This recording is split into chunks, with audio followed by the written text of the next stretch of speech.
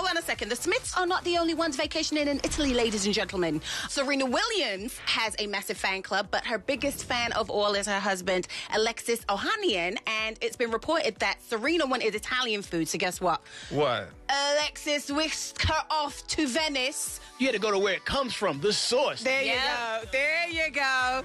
Alexis and Serena both posted photos of their romantic getaway on social media, and along with a drone video of Serena laying on a couch. My biggest mistakes in life, I think, was saying no to when somebody wanted to whisk me away. Why'd you say no? what was it? Why you say oh, no? I'm so corny. I just don't. I, I said I had to work. Really? So wait, um, Biggie want to Yeah, take I it? know. It was really exotic. You I couldn't d- get sick? It was a surprise. I don't know where it was, but the person who wanted to whisk me away is of such caliber that I'm sure that it would have been absolutely wonderful. What does Well, that name know- rhyme with? If I ruled the world, move on. Missy Elliott.